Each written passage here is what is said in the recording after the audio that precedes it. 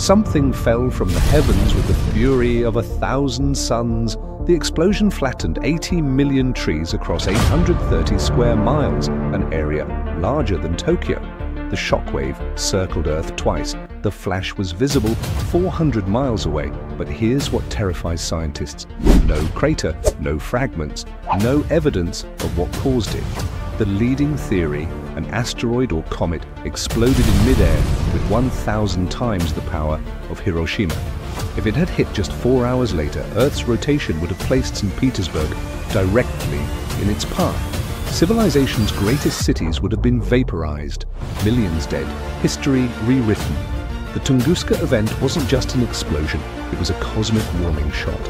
And statistically speaking, we're overdue for the next one. Sweet dreams.